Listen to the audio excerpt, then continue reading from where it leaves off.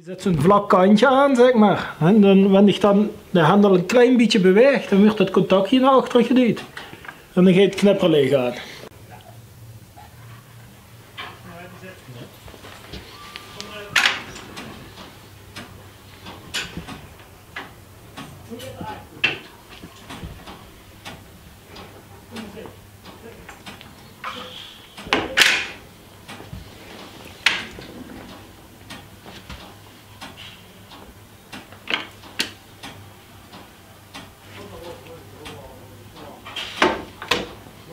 Thank you.